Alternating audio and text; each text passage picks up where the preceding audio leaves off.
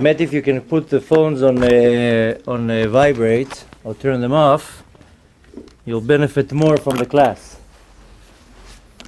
So my name is Rabbi Alon Anava, and tonight I'm going to share with you one of the most important information that you need to know. Why are we here? Why did we come to this world? And why we live here so many years? And most important, what we're supposed to do here. And the thing is that I read once an article that uh, there's a movie, I don't watch movies, but in the article it was talking about a movie, uh, uh, Aliza Beretz Aplaot, uh, what's her name? Uh, what's how do you say it in English? Alisa in Wonderland. Alice in Wonderland. Okay, so it's talking about this movie that there was a girl in Wonderland, and she was walking down a path, and she had a little rabbit, and she comes to a crossroad, and she doesn't know if to turn right or if to turn left. She doesn't know what to do. So she asks her friend, "What should we do? Should we turn right? Should we turn left?" So then came another character from the movie, and he told her, "What's going on? What's uh, what's your problem?" She says, "I don't know if to turn right or if to turn left."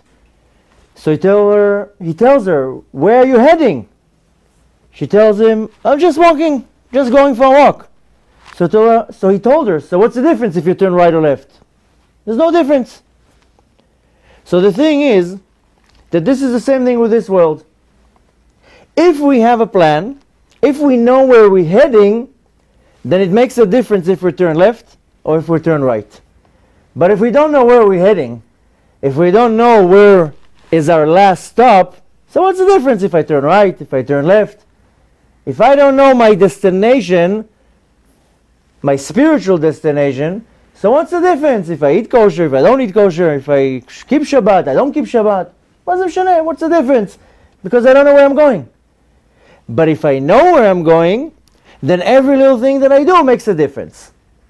So the point is that many people come to this world and they don't know where they're heading. If I would know where I came from and where I'm heading, then I would be able to plan my route and to understand what I need to achieve. And most people, either they're born to be religious and they taught them you got to keep Shabbat, you have to eat kosher, you have to pray. So they're like a robot. They don't understand. And some people, they just discovered it. And they need to know where am I heading. So the same way that I'm going to walk now into a car, going, go into a car, and I want to get to a destination, then I punch in my GPS the address, and the GPS tells me, take this highway, take this route. If you take this highway, you're going to run into traffic. If you take this highway, it's going to take you such and such time. If you take that route, there's going to be less traffic. And I choose my route, but the destination is the same destination. But at least I have a destination. I know where I'm going. And if I don't have a destination, there's no point of getting into the car and going anywhere. So tonight I want to give in, in a very general, but in more in a depth way, where we came from, why are we here, what are we going through, where are we heading, and why should I even bother here? I'm here for 60, 70, 80 years, but what, what do I need it for? So it all started that before the world was created, there was just Hashem, just God. Him and his name, Hu Vishmo. And all the souls were around God, and they were enjoying what's called Ziv Hashchina, the rays of the glory of Hashem. Not, they weren't even seeing Hashem, they were just enjoying the rays of the godly light. Same way that if the sun is shining outside, and let's say now it's daylight and I look through the window, I see daylight, but I don't really see the sun. I see just the rays, not even the rays, just the shine of the rays of the sun because I'm in a room and I just see a little bit out. So the neshamot, all the souls were standing around Hashem and they were enjoying this glory of Hashem The Holy Zohar calls it the Noga. Noga is this, is this, uh, the edge of the of the of the the light. And at some point they felt very ashamed, very embarrassed. They told Hashem, you know, you, you're just giving us and giving us and giving us, and we we feel embarrassed because we're we're like a like a beggar that just comes and takes food. The Zohar calls it Nehama Deksufa, bread of shame, like a person who's poor and he comes every day to a certain place to ask for food. So the souls felt very embarrassed and they told Hashem, we want to do something for you because we feel like we're not doing nothing. So Hashem said, no problem. I'm going to create a world and I'm going to put your souls in bodies and you're going to work in this world and you're going to earn your reward. And when you're going to earn your reward, you're going to come back here and what I give you, this godly revelation that I share with you, you're going to earn it. You're not going to just get it. And that's how the story started, way before the world was created. Now, in general, we know of five types of worlds. And of course, I'm talking about spiritual worlds. Chassidut and Kabbalah are talking about four spiritual worlds, which is the world of Atzilut, the world of Bria, Yetzirah ve'Asiyah, but I'm not talking about these worlds. There's five types of worlds that we know about. The first world is Holam Hazeh, this world, this world where we live in. Then there's Holam Haba. Now, not Holam the famous Holam that everybody's talking about it, rather the Holam Haba Bator, the next one in line, which is called Olam Neshamot. And this world is divided in three types. Gan Eden, Gehenom, and Kaf HaKela. These are the three parts of this spiritual world. Then we have Yemot HaMashiach, the days of the Mashiach. Then we have Tchiyat HaMetim, the time of resurrection of the dead. And then we have Olam Haba. These are the five types of worlds that we go through. Because I just said before that we started somewhere around Hashem in some spiritual place, and that's where we started. Now we have to go through all these worlds in order to get to the last one, to the final one, which is called Olam Haba. Now some people confuse it because many people say Olam Haba is the next world, the world to come, the famous world to come where everything is going to be very special. But some Mefarshim say Olam Haba is the next world that I have to go through. Now I'm here. Now I go to the Olam Haba to the next world. And then from there I'm going to go to the next world. So when I'm going to refer to Olam Haba, I'm talking about the last Olam Haba, which is our destination. Now when I know the destination and I know where I started, now I need to know the route, the derech, what I have to do, where I come from, how I come from. So, you know, there's a pasuk that says in the Torah that we must know where we came from. Exactly. This is a Mishnah. The Zitzah is exactly like she said. Da me'ain bata, know where you came from, ve'le'an ata olech, and where are you going? ולפני מי אתה עתיד ליתן דין וחשבון? Who are you going to stand in front of and give judgment? So each person has to know that. So it all begins that the soul comes down to this world. And in the beginning, Hashem created the world. We know the famous story. There was Adam and Chava, the first man, the first woman. And then it was supposed to be a perfect world. In the beginning, the world was supposed to be created for seven days. It wasn't supposed to be for so many time, for many years. It was supposed to be for seven days. It was supposed to be the six days of creation, then the creation of Adam and Chava. Then Adam and Chava were supposed to keep one Shabbat. That's all they needed to do. Adam HaRishon wrote the Mizmor Shir Le'Yom HaShabbat, the, the, the, the chapter of Tehillim that we read on Erev Shabbat. And all they had to do is Kabbalat Shabbat. Adam HaRishon only had to say, Boi Kala, Boi Kala, accept the Shabbat, keep one Shabbat, and that's it, and the story is over. But the story got messed up right from the beginning. So we know the famous story that Adam and Chava, they ate from the tree of knowledge, they sinned, and they brought down the sin to the world. And from here, we started our entire journey. From the sin that they did in Gan Eden the first time, this brought death to the world, and it brought the root of all the rest of the sins that are going to happen, and we came down here to fix it. So when our soul comes down here, it comes down here many times. The Arizal wrote in a book, Sefer HaGilgulim, the, the, the book of reincarnations, in a very in-depth way, that each one of us has to come down to this world at least three times. At least, minimum three times. To do all 613 mitzvot במחשבה, dibur v'maseh, Thought, speech and action. Which means all of us are already Gilgulim. We are reincarnated. We are here for a few times already. Now we don't know where we came from, we don't know what we did, we don't know what we're missing.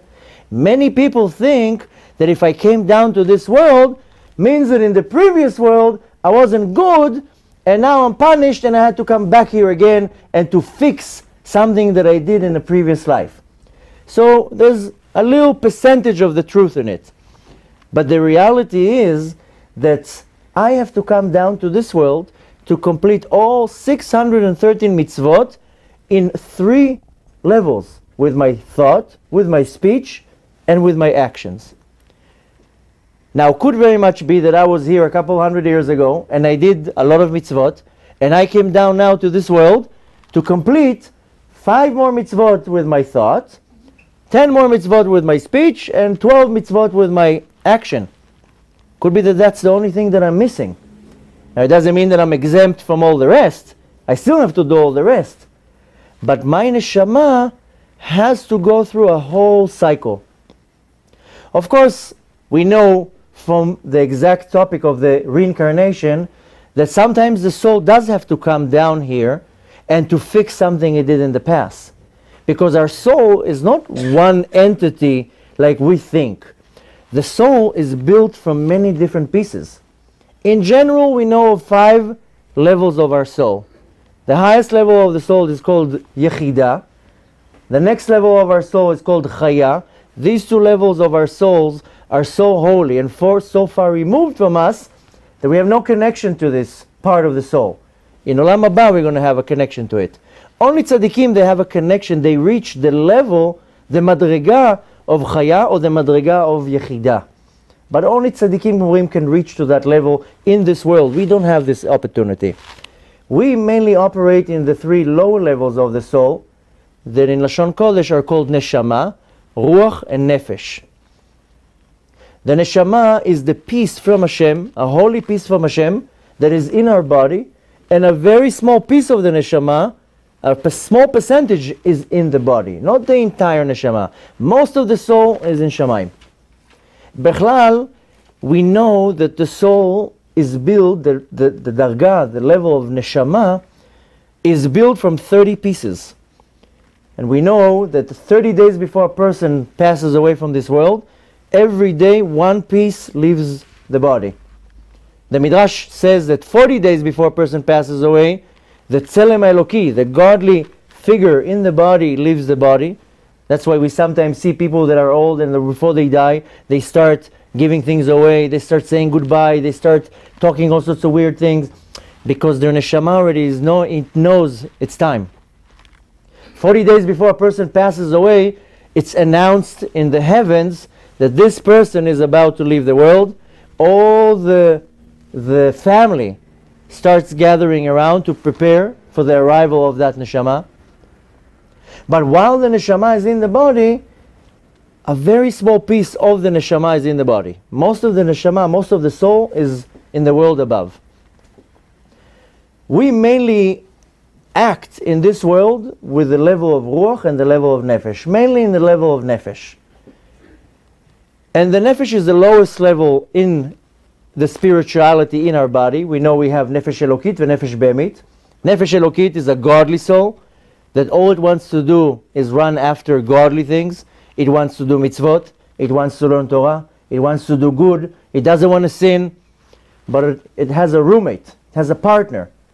And that is called the nefesh behemit, the animal soul. Not because it's an animal, rather because its character and its traits are like an animal. It wants to enjoy food, it wants to sleep, it wants to enjoy this world. It has no connection to anything spiritual. So you see sometimes in your mind that you wake up in the morning and you say in your mind, okay, let's go and pray shacharit now with a minyan. Suddenly the nefesh abemit says, no, no, no, let's sleep in another hour. It's okay. Or you walk through the day and you're like, oh, look what a beautiful restaurant. The food smells so good. The nefesh abemit tells you, let's go and eat there. And your nefesh elokit, no, no, no, it's not kosher. I can't go in there. You constantly have this battle in your mind that is the nefesh elokit is pulling towards kedusha, towards holiness, and the nefesh abemit is pulling towards the other side of holiness. But mainly we function in this world corresponding to the nefesh. Now the nefesh and the ruach and the neshama, in order to correspond in this world, it gets dressed in spiritual garments. These garments are on the same three madrigot, thought, speech, and actions, and the soul gets dressed in the ruach, and the soul in the ruach gets dressed into the nefesh, like cups that you put them one on top of the other, like plastic cups. You pile them up, you get like a tower of cups. So they all get dressed one inside the other. The soul is the manager, gives the, the orders what to do. But the nefesh, that's the level that actually moves the body and interacts with the body. And imagine you see like this big uh, crane and you see this huge crane lifting up tons, tons of cement and huge things. And inside there's like a little box, and a, a man is sitting in the box, and he's moving all sorts of sticks, and he's controlling this massive crane. That's how the soul is. The nefesh goes into the body, and it has to move this huge body. I want to move my hands. For me, it's a natural thing just to move my hand. But it's my nefesh, my spirit in the body that moves everything.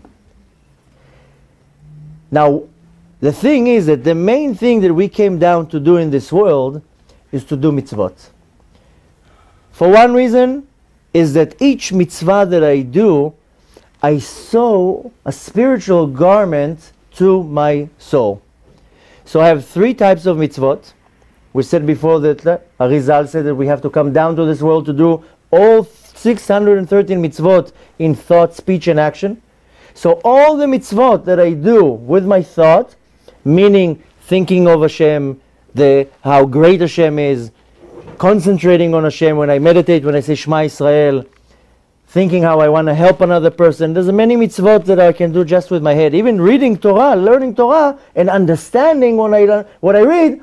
This is doing the mitzvah b'machshava with my thoughts. Of course, I can do many more things with my thoughts. But when I do a mitzvah with my thought, I'm sewing a spiritual garment to my neshama in Gan Eden Elyon.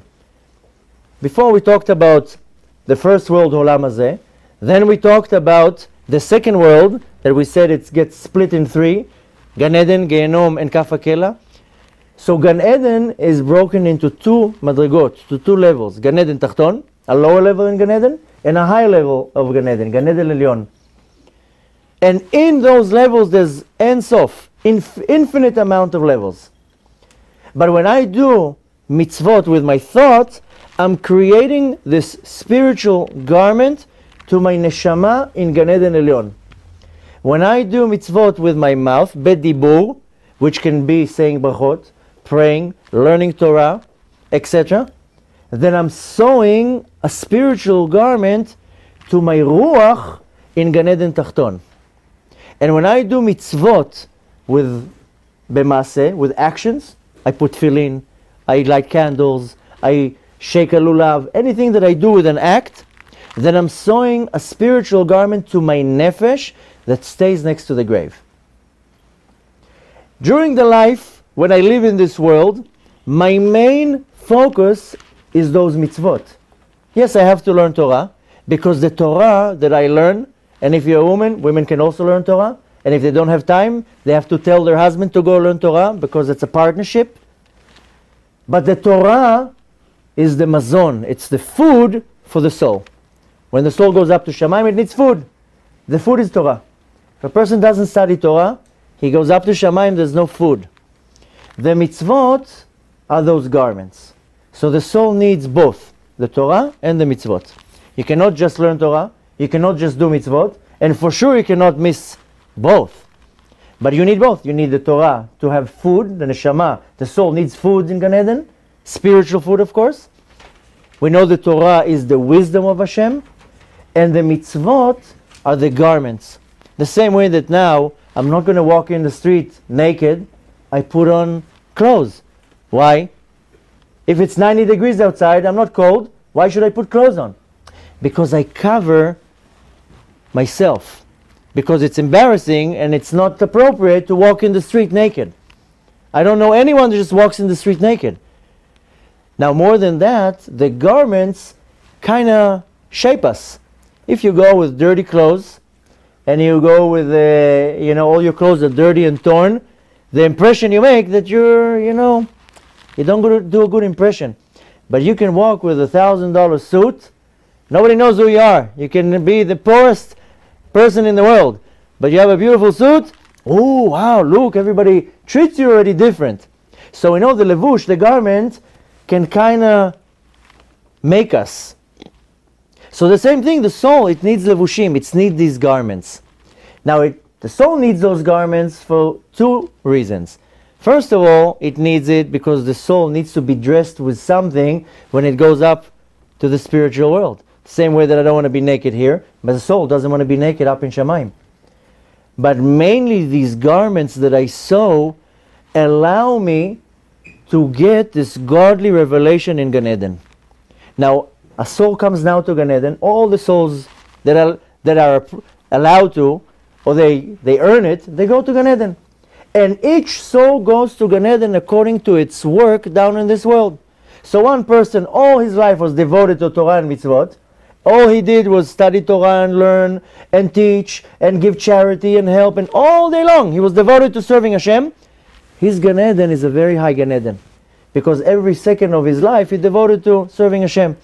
Another person can be also in Gan Eden, but at a much, lo- much lower level in Gan Eden. Whatever we did in this world, is how much we acquire these garments for my neshama in Gan Eden. So this world is basically the place where I sew my suit. Now imagine you go now to the biggest, I don't know, cocktail party in history. You go to a big party where the president is there and senators are there and businessmen. You want to come with your nicest suit. And now the thing is, how would you look if you come with a gorgeous suit, but it's missing here a button, and here it's missing a pocket, and here I'm missing a sleeve, and here I'm missing a patch. I'm going to look like a clown. I want to come with a, my suit perfect. So when the neshama, when the soul goes up to Shamaim, they're accepting, they're telling the soul, come, come into Gan Eden. If the soul doesn't have these garments that cover the soul, the soul is embarrassed because he's like, wait a minute, I'm, I'm not, I don't look appropriate. So a lot of people say, you know, I, I don't, I don't see the benefit of all the mitzvot. Give me this, this, this, and this, and I don't want to do all the rest. The thing is that each mitzvah that we have corresponds to a piece of our soul. So we have 248 positive mitzvot, Positive not because it's positive to do, rather because it's a positive commandment. So each one of these 248 positive mitzvot correspond to 248 pieces of our nefesh. Which means that every positive mitzvah that I do, I sew a piece, it's a patch that covers one piece of that nefesh. More than that, these mitzvot are like spiritual nutrition to the soul. So, the same way that a person will not only eat apples, if a person hypothetically will only drink water and eat apples, he's not going to die. He will live, but he's not going to live so healthy, and he's going to suffer from not having the right nutritions, and maybe Chas v'shalom will have a lot of diseases. Why? Because he's not getting all the nutritions. He's only eating one thing. That's why we have to eat vegetables and fruit and carbs and meat and, and, and fish. We have to eat everything. So the same thing, the soul needs all the mitzvot. It cannot sustain on two mitzvot, or three mitzvot, or ten mitzvot. Because a lot of people say, okay, I'll do this, this, and this, all the rest, I don't want to do it. So it's not chas v'shalom. A lot of people come and tell me, oh, if I don't do this and this and mitzvah, am I going to go to Gehenom? No, it has nothing to do with it. But you're lacking peace, uh, nutrition, this spiritual nutrition to your soul. You're preventing from your soul to get its nutrition. More than that, you are not creating this piece of this spiritual garment that completes this perfect garment. So the soul comes up to Gan Eden, but it's missing a sleeve, and it's missing a pocket in the back, and it has a hole here. So the soul gets embarrassed. It doesn't want to be part of it. So all these mitzvot that we got are for us, A, to give nutrition, spiritual nutrition to my soul. That's why we see in our, in our generation, we see so many problems. Health problems. Almost any second person you meet has health problems. Okay, people can, can, can blame it on pollution or bad nutrition or uh, cellular phones. There's you can blame it on everything. But the reality is that the sickness manifestates from a spiritual sickness. If my soul is not 100% getting what it needs, it will manifestate down to the body and the body will get a sickness. So according to nature, it will get some type of a sickness. But we see in our generation, half the people in the world have sicknesses, the other half has mental sicknesses, all sorts of depression and anxieties and fears and all sorts of things, and people blame it again on all sorts of other things. All these things originate from a spiritual deficiency.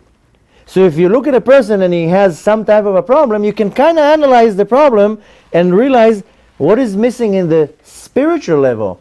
Maybe something is missing. And I always give an example that many years ago, my mom became more observant. And she was complaining to me that she has pains in her wrists. And she went to all the orthopedics in the everybody. Nobody solved the problem. They did x-rays, they did everything. No, they couldn't figure out why she has pains in her wrists. So she came to me. Maybe I have some hocus pocus. so I told her, you know what, let's try. I told her, do when you wake up in the morning, do you wash your hands? She's like, yeah, of course I wash my hands. You told me many years ago to wash my hands. Told her, when you wash your hands? Right when you wake up? No, I take a shower, then I eat, then I this, then I that. At 12 o'clock in the afternoon, I wash my hands. Told, her okay, so now you wash your hands first thing in the morning. And why did I say that? Because the washing of the hands, the halacha says that you have to wash till the wrist. If you didn't wash till the wrist, you didn't do it right. The next thing that I told her, do you give charity? Oh, of course I give charity. What kind of a question is it? Once a month, I write a check to my favorite organization. So I told her, so now every day except Shabbat, take even a quarter and just put it in the kupat tzedakah, in the box, just to have the act. It's not the quality, it's not the quality of the donation, it's the quantity. And sure enough, my hocus pocus worked. A month passed, no more pains in the wrists, in both hands, everything was solved. So almost in anything you can pinpoint on somebody that is lacking something, if you look at it, you can kind of figure out what's the spiritual deficiency. So when Hashem gave us all the mitzvot, it's not to make our life hard, or not to make our life restricted. It's our nutrition, our nutrition that we have to give our soul. And if I'm not giving my soul it, then my soul will complain. So either I'll get sick, chas v'shalom, or I'll have all sorts of mental issues, depression, and uh, fears and anxiety and all sorts of things like that because my soul is not happy. Not because of my mind, not because of my body, not because of anything else, because of my soul. So all these mitzvot are to feed our nefesh, so it will have its spiritual nutrition. But more than that, each mitzvah sews a garment to my nefesh when it goes to Gan Eden. So when you realize, wait a minute, I'm one day going to come to Gan Eden, and I want to look my best. So I have to have all these mitzvot to sew all these garments. More than that, we said before that the mitzvot b'maaseh, with action, they sew the garment for the nefesh that sits on the grave. The mitzvot in speech is for the nef- ne- ruach in Gan Eden Tachton, and the mitzvot in machshava is for the neshama in Gan Eden. So when I come down to this world, we started in the beginning by, said, by saying that the souls felt uncomfortable. They told Hashem, we want to do something. So technically Hashem created the world, put us here, and He told us, okay, now you're going to earn your reward. You're going to earn your sachar. So you do a lot, your reward is going to be big. You do less, your reward is going to be less. And each one gets a different reward. Because for one person, it's the easiest thing to put tefillin on. And another person, it's the hardest thing to put tefillin on. So for the one that it's easy to put the tefillin, it's not the same reward for the one that it's hard for him. Lefum tzara agra. The more, the Gemara says, the more the, the more the sorrow in, the more the reward. So each person has certain mitzvot that are more particular to him. And a lot of people tell me, how do I know what are the mitzvot that I have to more concentrate on? So the easiest thing is just to look at the mitzvot that are the hardest for me to do. Because if something is easy for me to do, then, you know, it's not a big deal. I'll do it bekef, gladly. But if something is real hard for me, it means it's, here I have an opposition, means that here I have to put most of my weight. So these mitzvot that we got are for us to enjoy this spiritual benefit in this world, and in the world to come, it serves for me as garments. Now, we know that when the soul goes through its life here, each soul has a certain amount of time that it came to the world to do its work, its avodah in this world, and at some point we all leave. Nobody stays here. What happens is when we finally leave, there's many different ways how the soul leaves the body. And a lot of people, when they realize the options, then they understand more what's the value of what they do in this world. So there's three types of ways that the soul leaves the body, and each one is defined in a different title. And it's not the titles that we use to them. But the first title is a tzaddik, the second title is a Beinoni, but not the Beinoni that the Sefer, the book of Tanya is talking about. That's a very high level. I'm talking about the a level of Beinoni that is half sins, half mitzvot, half half. And then the third one is the level of what's called Rasha, wicked person. Not because he's wicked, because he's mean to other people, rather because his definition in the Beis Din Shel in the heavenly court, is that he's missing a lot of mitzvot and he's doing a lot of sins, and he's called in the spiritual definition Rasha, wicked person. So a person who's a tzaddik, the way he leaves this world, the Shekhinah comes and takes the soul out of the body. Very, very soft. And it's explained that comes the Shekhinah itself, and it takes the soul out of the body of a tzaddik so gently that the death is just pure, it's clean, there's no issues. The soul goes right to Shemaim. But most people are not in that level. Most of us are in the level of the Beinoni. And again, not the Beinoni that the Sefer Tanya is talking about, because that level is a very high level. There's very few people in the world that can be in the level of Beinoni. I'm talking Beinoni means half mitzvot, half averot, like most of the people. Half sins, half good deeds.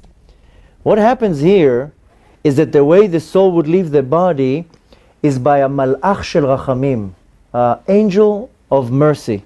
And the way he takes out the neshama is like slaughtering an animal the kosher way. If you ever saw how they slaughter an animal the kosher way, the knife is so perfect that if it has one little microscopic ble- blemish, it will make the, the shchita, the slaughtering, not kosher, and the meat is not kosher. Because this microscopic blemish on the knife will cause pain to the animal. That's the reason why if you look once how a shochet, how he does it, every time before he does the shchita, he checks the knives, he makes sure that there's not even a microscopic blemish on the knife. Because if there is, it's going to make the food taref, unkosher. Un- un- More than that, it's going to cause pain to the animal. And we have a commandment in the Torah. We're not allowed to, to cause pain to animals. Tsar Ba'alei So the Shchita Kshera, the kosher slaughtering that we do to the animals, that's how this Malach HaRachamim, this angel of mercy, comes to Kivyachol in a spiritual way, shechts the body, meaning that he does this, this uh, uh, operation, and he takes the soul very gently out of the body. And the soul doesn't feel pain from that. But the worst option is if chas v'shalom, a person is a rasha, then malach hamavet comes, the angel of death, the famous angel of death, and he does the shchita, the slaughtering, with sakin puguma, with a knife that is blemished. So first of all, the shchita, the, the cutting is painful for the soul, it feels the pain, and worse than that, exactly how it sounds, the angel of death, the scary one that we know of, comes and rips the neshama out of the body. Now here there's many different sources in the Gemara, in the Zohar, in many books of Kabbalah that explains kind of the order what happens. So I'm just going to go a little bit through it because it's important to know. So we know that 40 days before the person dies, the Tzelem Eloki leaves the body. The godly figure that, that we have leaves the body. We've seen many people right before they die, like I said before, they start talking all sorts of weird things. They give things away. They apologize to people. They seal businesses. They close deals. They don't, they don't want to leave anything open. 30 days before the leaving of the neshama, every day a piece of the neshama leaves the body. On the day of the death, the ruach and the nefesh would leave the body too. Now, the way it's described in the Gemara, how it looks, the, the parable that it gives, like a person, a jockey, riding on a horse. Suddenly the horse stops and the jockey flies off the horse. So he rolls on the floor, he gets up, he turns around to get back on the horse, but he sees himself on the horse. And that's how the Gemara describes how the soul gets thrown out of the body. It just gets thrown out of the body, it looks back, it wants to go back, and it suddenly sees, it sees itself. Some of you were lucky enough to hear my lecture how I had my near death experience, and that's how I saw it. How I saw my body. I was looking at my own body. So the soul leaves the body. And the first week, what happens, first of all, before the first week, the first thing that happens, the last person that leaves the cemetery just walks out. They finish the levaya, they finish the funeral. The last person that stepped out of the, the, the cemetery, four angels go down to the grave, they jump into the grave, and each one grabs the body, one from this hand, one from this hand, one from one foot, and one from the other foot, and they throw the nefesh out of the body. Now the Gemara describes it in a very scary way because it says that each one of these angels they come with torches of fire and they start beating the soul. This is called chibut kever. Chibut HaKever, in, in a short version of Chibut HaKever, Chibut HaKever means the Chibut is when you punch something, when you hit something. Kever is a grave. The problem is that when we go in, when we come to this world, we get involved in a lot of mundane things in this world. Even things that we're allowed to do.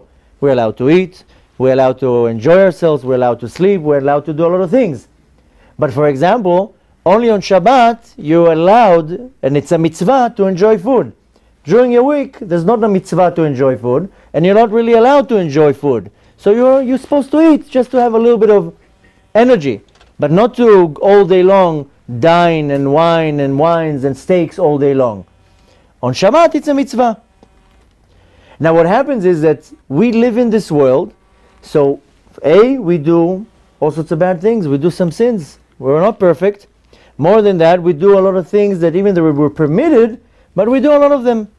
What happens is that all these things create this dirt on our soul.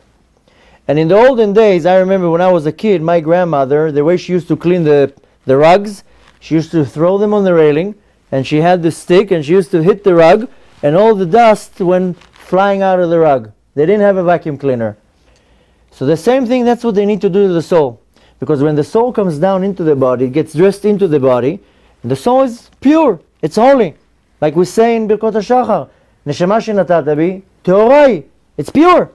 But then it gets dressed in this dirty body, and then the body does all sorts of dirty things, does sins, thinks the wrong things, says the wrong things, eats the wrong things. So the soul gets this dirt on it.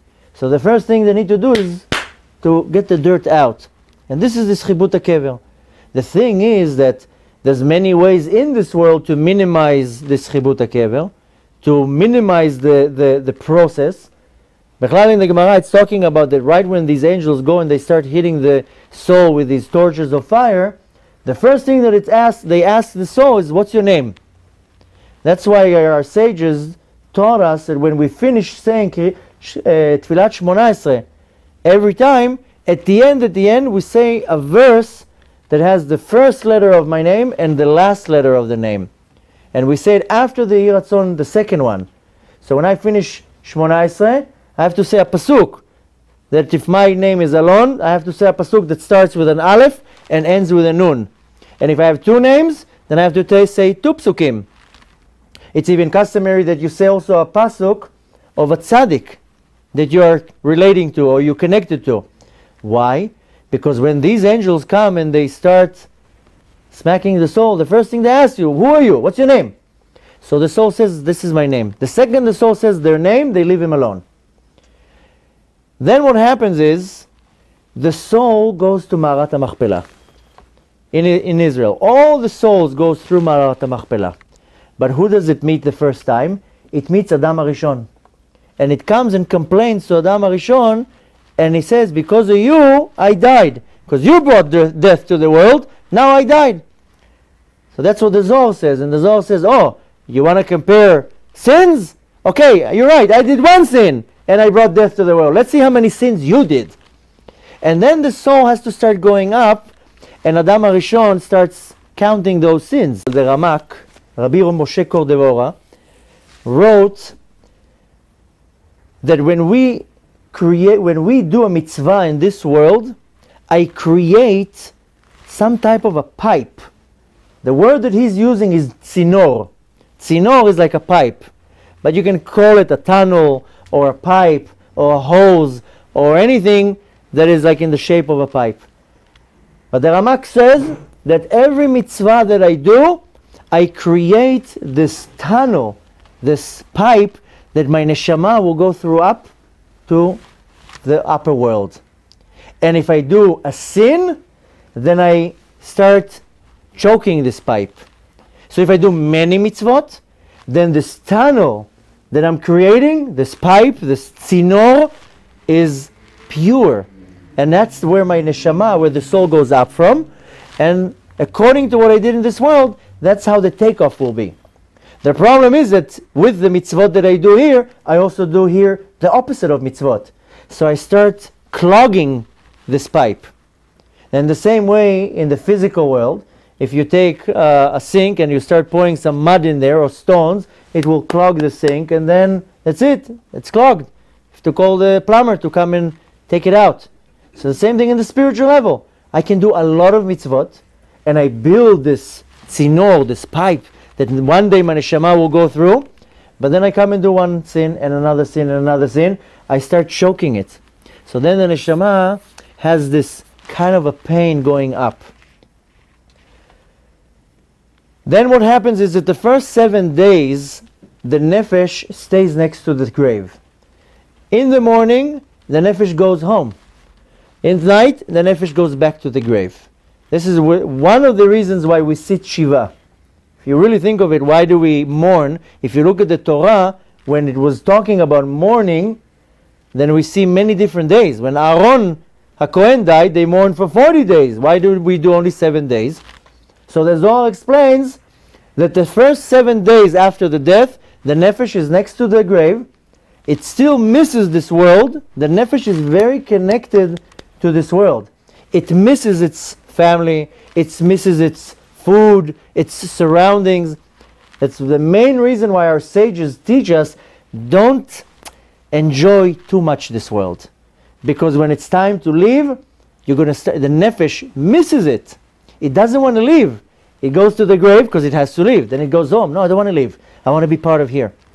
That's why we cover the mirrors in the Shiva, because the soul, the nefesh, it sees itself. And if it would see itself in the mirror, the nefesh gets very frightened. We cover the mirrors. But in the first week, the nefesh goes back and forth, back and forth. At night, it's in the, in the kever, in the grave. In the morning, during the day, it's in the Shiva. And the nefesh sees everything, it hears everything, it hears all the thoughts, it knows exactly what's going on, and it's going backwards and forth. That's why we're not allowed to go to the, to the grave in the seven days, because it disturbs the soul. Then the next 30 days, the, the nefesh is still next to the body. The nefesh doesn't want to leave. The entire first year, the ruach goes up, the neshama goes up, the nefesh stays next to the grave. The only time that the nefesh finally leaves is when the body gets completely decomposed. Then it's finally the nefesh is leaving this world. But what it leaves in this world, it leaves an impression. And the same way that if you, you take your hand into like mud or something, here somebody took me to the street where there's stars on the floor and people uh, put their hands on the floor, all the, all the Hollywood actors, and they put their hand on the floor and everybody comes to see the great, uh, the great avodah. So the same way that you put an impression, you'll put your hand into mud or into cement, you leave an impression, the nefesh gets dressed into the body for 60 years, 70 years, 80 years. It gets the shape of the body. So the nefesh has the look of the body. That's why when we dream on a relative that passed away, that's how you see the shape. That's how you connect. Because the nefesh is the level that will come to a person in his dream. And the nefesh has the look of the body. Zohar calls it the reshimu, the impression. So the nefesh leaves an impression in this world, and it leaves this impression next to the grave. That's why we know, lehavdil, when a tzaddik passes away, the, the kever, the grave of a tzaddik, that's why we go to pray at the, at the grave of a tzaddik, because the impression is of the nefesh of the tzaddik. That's why we go to the, to the uh, holy graves of tzaddikim. But the nefesh stays around the grave, and in order for it not to be bothered, it needs all these levushim. Because in the graveyard, there's all these mazikim and all these chitzonim and shedim and ruchot and all these scary things. And in order for the nefesh not to be affected, it needs all the mitzvot b'maseh, these actions that I said that they sew the garment for the nefesh in next to the grave. Then we know the first year, the soul has to go through a mishpat, through a trial. A trial of a rasha, of a wicked person, is 12 months. A trial of a tzaddik, which is the other side. Tzaddik comes from the word tzodek because he won the, the trial. It's only 11 months. That's why we say Kaddish 11 months. But the the the the first 12 months is when the neshama goes through its trial, and it needs people down here to say Kaddish and to read Tehillim and to learn Torah and to give charity and to do many, many things because it just, A, helps the neshama to go a little bit higher, it gives us a lot of zchuyot, a lot of merits, and many more things. And then finally the nefesh, the neshama, gets decided where it goes.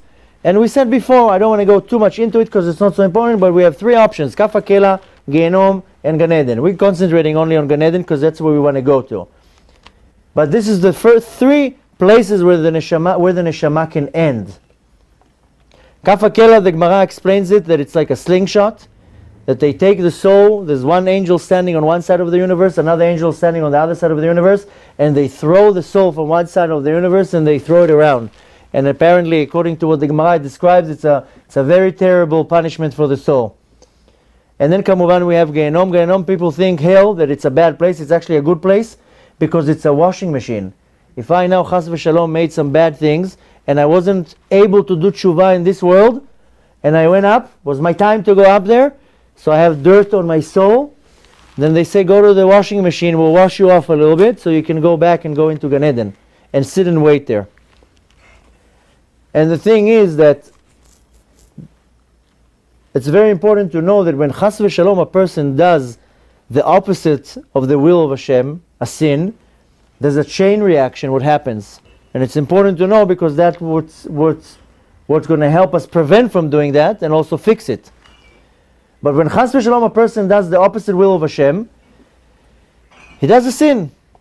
So there's a chain reaction what happens. The first thing that happens, he didn't listen to Hashem. Avar Retzon Hashem. He didn't listen to the commandment of the Master of the universe. Which when you think of it, it's chutzpah. How dare you? The Master of the universe told you to do something and you're not listening to him? How dare you? The second thing that happens is that that person puts these stains on his nefesh. That if he's lucky, he does tshuva, comes Yom Kippur, he fasts, he apologizes to everybody, he prays, he does everything they need to do, and all these stains get washed off. Some of the stains, some of the sins, Yom Kippur also doesn't help. You have to go through many other things to wash these stains. If chas v'shalom a person didn't merit that, then he has to go to the washing machine up there to wash all these stains. The second, the third thing that happens when chas v'shalom a person does a avera, sin, he creates an angel. And the Gemara calls it malach chabala, a destructive angel, an angel that comes to annoy that person. And first of all, that angel goes up to Shamaim and prosecutes against that person and says, he created me, he said this, he did that.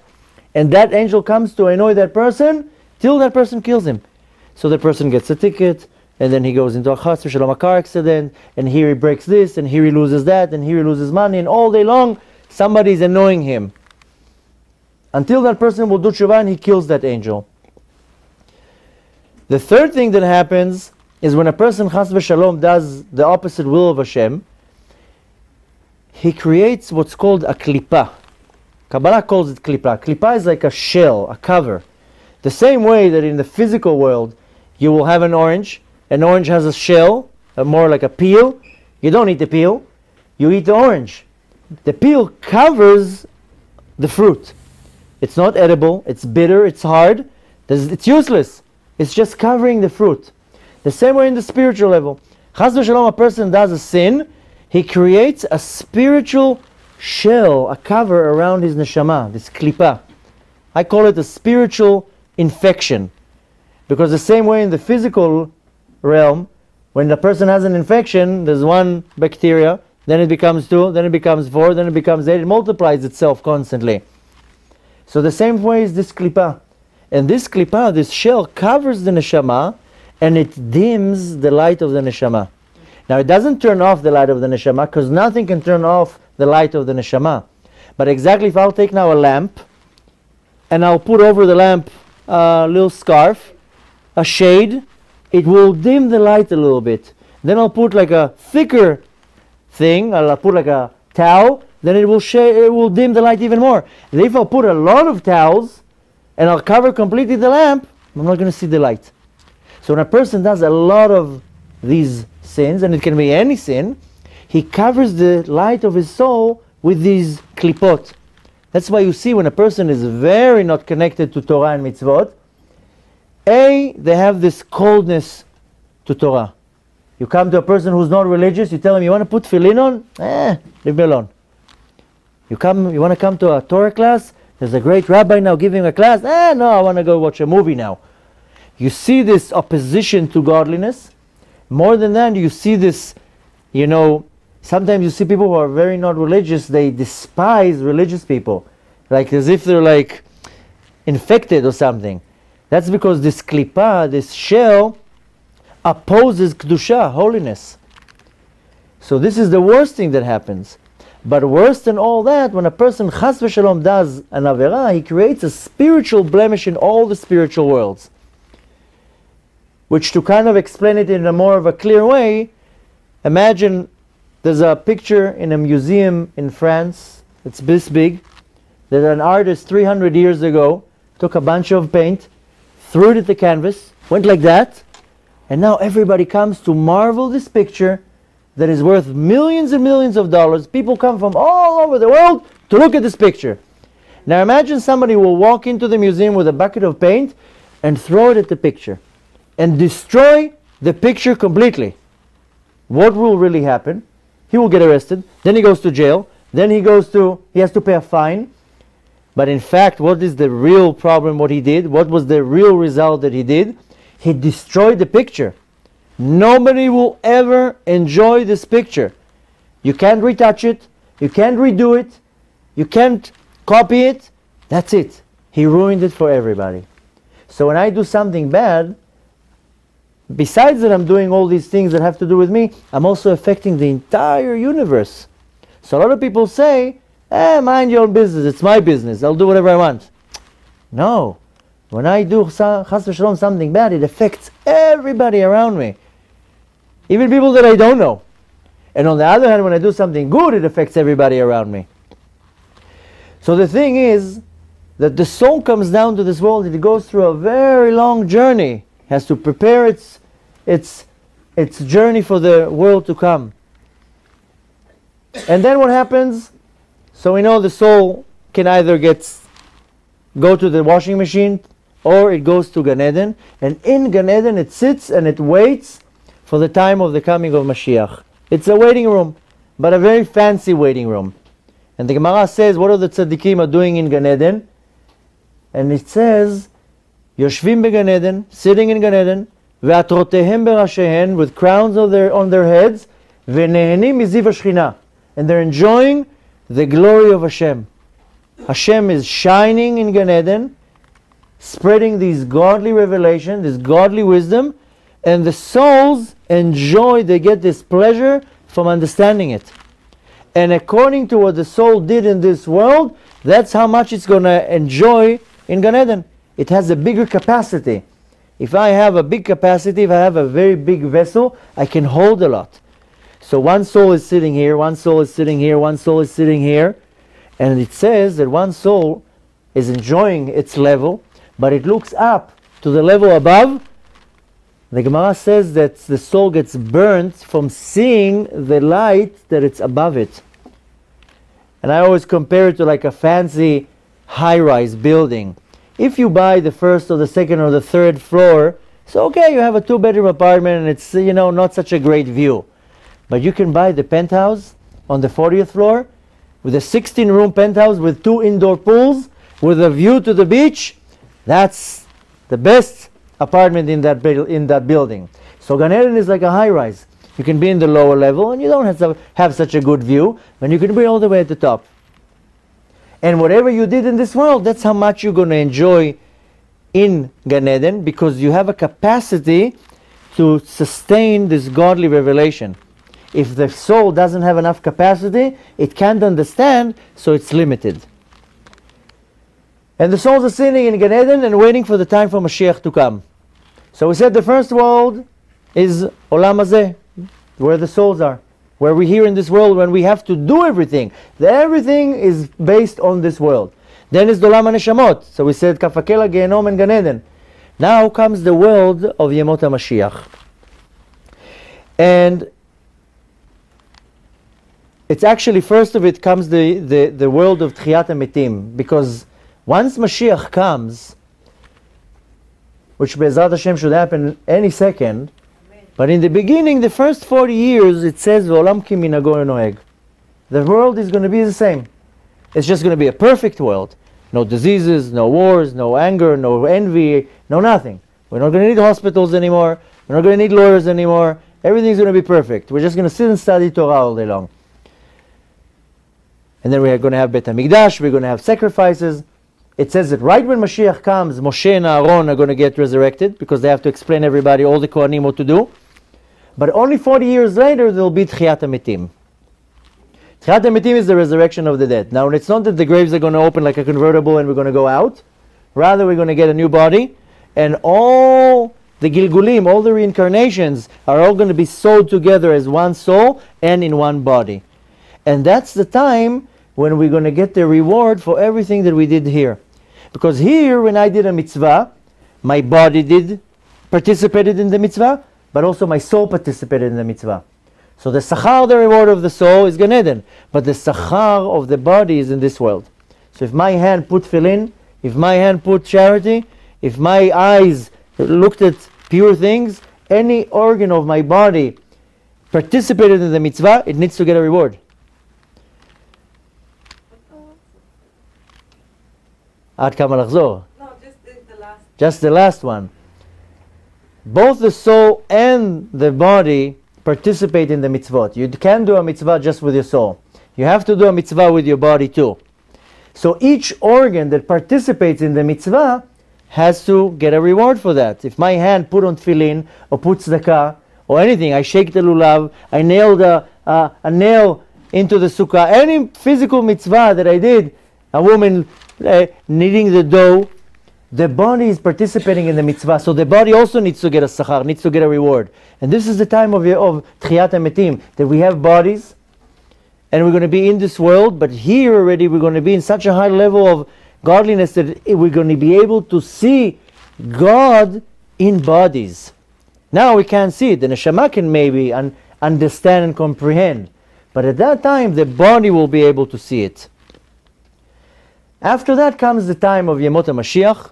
So we know that in the year, till the year 6000, then we'll have the time of Tchiyat HaMetim. But in the year 6000, now, right now in 5775, so in 225 years, we're reaching the end of 6000. Then we go to Yemot HaMashiach, which is a thousand years, a millennium, Yom Shekulo Tov. Same way that we have six days in creation, each day corresponds to one millennium. Once all six days are end, then we reach Shabbat. So one, once all the 6,000 years end, then we reach the Shabbat. But this Shabbat is going to be a thousand years. A thousand years of Shabbat. But not the Shabbat that we're going to have, what we know of now.